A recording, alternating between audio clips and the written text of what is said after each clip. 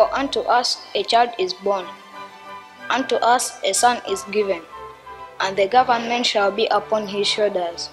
and his name shall be called Wonderful Counselor, the Mighty God, Everlasting Father, and the Prince of Peace.